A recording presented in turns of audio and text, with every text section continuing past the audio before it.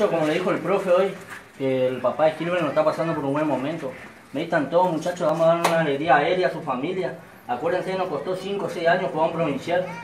No, hay que meter todo dentro de la cancha, meter huevos muchachos por su familia, por ustedes, por todos nosotros dejamos toda la semana para venir acá a estar con ustedes. Así que metemos huevos muchachos y demos esa, esa alegría a Gilberto y a su, a su viejo, dale. Dale muchachos. Espera, espera, espera. Dos cosas le digo. Adentro, muchachos, pues son ustedes. Siguen siendo ustedes, todos, completamente. Perseverancia y lo van a triunfar. Pero tienen que tener paciencia. La otra, dejen todo como dijo Leo, muchachos. Dejamos todo. Total, después nos vamos y descansamos tranquilos. Y después la semana es otra cosa. Pero vamos a dejar todo. No entramos en la gilada ni en la boludez de nada. ¿eh? Entramos jugar el fútbol y a meter con todo. Cada, cada parte que lo tiene nosotros tenemos que duplicarlo, muchachos. Pero nos vamos a duplicar. ¿Me entendieron? Le dejo a ustedes y lo veo allá, vamos. Vamos, bien, Sergio.